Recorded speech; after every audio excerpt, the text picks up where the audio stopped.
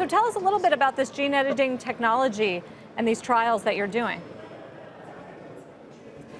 At Editas Medicine, we are working on making unprecedented medicines that, that work at the level of DNA to correct mistakes in DNA to be a durable therapy for patients with really serious diseases.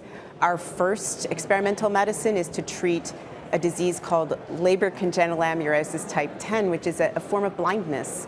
And we're on the threshold of starting trials in people with this first experimental medicine called Edit 101.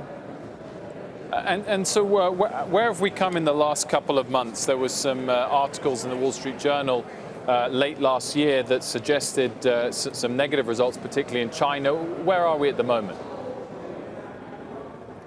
So at Editas Medicine, we're working on medicines to treat people with serious diseases. Our first program, we filed with the Food and Drug Administration late last year so they could review that data package, make sure it was acceptable to take forward into tests in humans, and that was accepted and allowed by the FDA. So our next step is to start those clinical trials later this year, which is really an important advance for the field because it's going to be the first treating in the body CRISPR medicine anywhere in the world. So exciting for us at Editas Medicine, but I think also very exciting for the field and most importantly for patients with this serious disease. Katrine, I remember when you know, the stocks went up on this day, but it, there was a lot of public outrage when we learned about the Chinese researcher who genetically edited babies, I think. I mean, do you feel like you're, you're entering a controversial world? First, let's be clear. What, what the researcher did in China is, is essentially the worst example of, of what not to do with this science. And we've said that clearly, and, and the leaders in this field have said that clearly as well.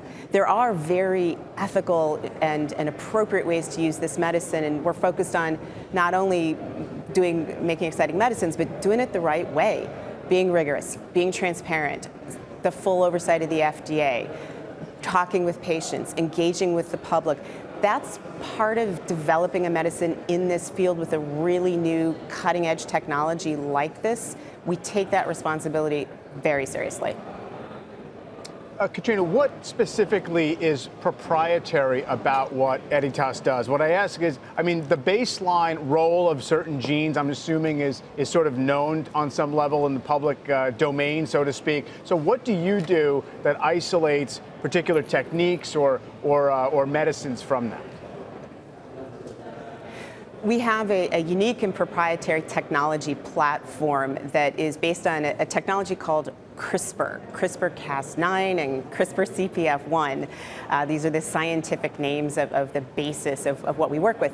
And what that allows us to do is to, with the knowledge of the human genome, which, as you said, is, is what we as a, a, society now understand the sequence of that genome and how mistakes in DNA can lead to serious diseases what we're working to do is to essentially repair those broken genes.